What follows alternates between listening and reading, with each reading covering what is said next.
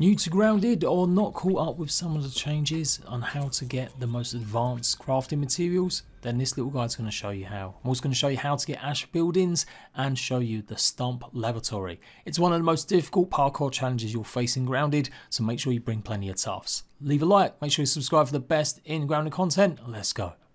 So I'm just running through the Stump Lab just to show you guys where it is and what to expect. Obviously not doing it with a full-blown survival character, just for the cryards out there. Anyhow, when you get to the Stump, it's filled with dangerous creatures. Obviously, you've got a ton of wolf spiders, ticks and more. You'll notice this piece of laboratory sticking out the ground and this doorway will be locked unless you've done the following. You need the assistant manager key from defeating the assistant manager in the Black Ant Hill. Then you need to come over to this little laboratory underneath the oak tree. It's been shut for longest of time, but you can see now you can open it up. This is also where you get one of Sarah's elf's charm inside that box and make sure you press the button and you can see on the CCTV it actually shows the laboratory in the stump obviously from the viewpoint from inside the lab. Once you press the button you can see the stump pieces sticking out. So that's how you open it. You won't be able to get in here until you've done all of that. Then bring a tuft to drop down or you can land on the sides like this if you really haven't brought one with you. You don't absolutely need a tuft, but I would recommend it for sure. When you're at the bottom, you are in a sideways, upside down lab outpost, so you're going to have to climb and parkour across. You'll notice you can't really get up directly, so you're going to have to go right across to the right hand side or forward. And there's this doorway here that you won't be able to get into until you press the button. This is where you get the stump chip. So you need to jump across the area like this, and then hopefully try and get to the right hand side all the way in front of you. And you should notice also the mantis kebab recipe that's on the floor. I totally missed this the first time I came in here and I'd spent about another 3 hours looking for the mantis recipe for the kebab so make sure you pick it up next to this cabinet. So I don't think you can actually get out the way that you came, you still got to get the chip obviously and now we've got to jump across to these cabinets and it's pretty tough as you saw. On top of this bit of wood and then you'll get the 500 raw science. Now we need to jump on top of this cabinet here, then turn around and we're going to be aiming for this bit of dirt here. Next, you want to see if you can get on this tiny little bit of lip here, which is a green tile sticking out. And then you can go ahead and jump on this root and then onto the next root and then we're onto the next stage. You'll find a milk molar, so grab that. And then you can see we've got a drop down. Make sure you get the 100 raw science and yeah, just fall down pretty much. You can obviously see if you can jump land on these consoles, but as you saw, I fell down as well. In the bottom, there is a pool of water, and it is pretty tough to get up from this. You need to climb the actual root. When you do, you'll be closer to the console, and you can now activate the doorway. Sticking on that same root, try and jump on top of that console, although it can be a bit tough. Honestly, this took me about 15 minutes to get through, and then you want to aim to get on this side so you can get the 100 raw science. If you've fallen down at any stage, I'm going to show you one more time. Jump on this root from the first root, then on this console, then you've got to quickly hop onto this little one here. It is really tough, just make sure you can see properly. Then you'll be looking to get onto this dirt pile, and then you should be able to jump onto the next dirt pile opposite here. And then you can go ahead and jump on the next root and back into the area that you first was.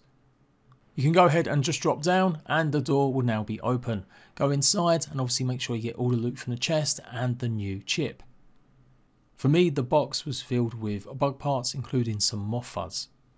Make sure you go ahead and get the upgrade materials that are here as well next to the box. And then on the sides of the wall, you should notice a little alcove that you can jump in, get 500 raw science, and now you can climb up, getting all the upgrade materials on the way. This will lead to a small little hole right next to the laboratory entrance where you came in. It can be a bit finicky getting up as you're mostly climbing dirt piles, but you should have the upgrade rocks to guide you. You can go down that hole to get the upgrade materials straight away if you maybe have come exploring here but haven't opened the laboratory door. But there we go, that's how you get the ash walls, the next upgrade sets, as well as the mantis kebab. This will allow you to create and craft advanced smithing mighty jewels, advanced smithing flavor jewels, advanced smithing sturdy upgrades, the advanced building ash cement, and the brand new sign set Girthscape. Now you'll be able to go ahead and upgrade your weapons and armors to level 8 and 9 and also apply more of the top tier flavor jewels to your weapons. You'll also be now able to upgrade or craft your very own sturdy upgrade materials out of bug parts and sap. And this is what's confusing people. you get some chips from certain locations that allow you to upgrade to level 6 or 7, but you can't actually make the sturdy whetstone pieces that you need until you've gone and got this chip from the Stump Lab.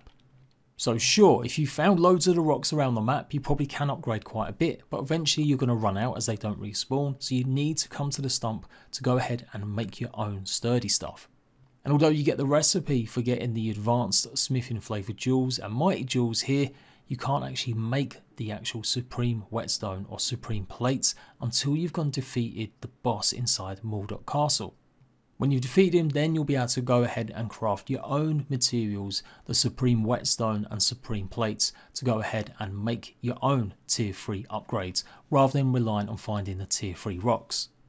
Not gonna lie, it's kind of super confusing, especially for brand new players, and even older players have been scratching their head exactly how it worked, as it used to be a lot simpler that you would simply find one unlock and it give you all of them upgrades that you could go ahead and craft or make.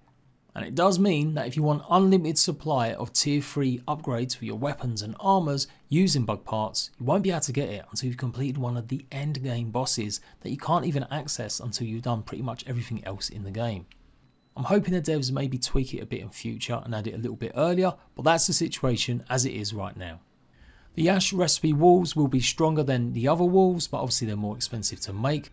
But there you go, that's the full guide to the Stump Lab how to unlock the more advanced materials so that you can craft and upgrade your armor weapons and to get the kebab to summon the mantis. FYI, you still need 5 chunks from the broodmother to go ahead and face off against as that's one of its main ingredients. I am going to have another video giving a breakdown completely of upgrading and all of the chip unlocks so look out for that in the future. Hope this has helped and I'll see you right back soon.